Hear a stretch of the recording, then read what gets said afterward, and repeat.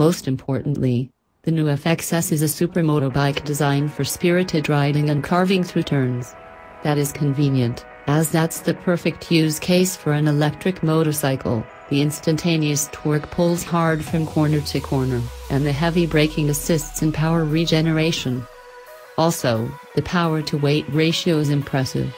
At a claimed curb weight of 293 pounds, the air-cooled ZF 6.5 motor puts out 70 foot-pounds of torque, plus 44 horsepower at 3,700 revolutions per minute.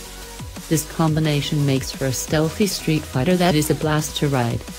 The 2017 Zero FXS has a unique future-forward aesthetic, with its diminutive fly screen and bulbous robotic-looking headlamps suggesting that this motorcycle may have intergalactic origins.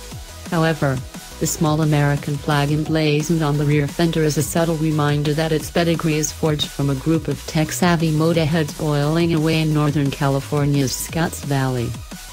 The cockpit is very open with high-bend tapered handlebars towering above a long flat seat. There is plenty of grip and room for negotiating weight transfer to the front wheel for tight cornering or other activities that we euphemistically refer to as the Hooligan Olympiad. The digital display is backlit in a nice cobalt blue that references the coloring of the FXS logo and the anodized blue that's on the front suspension.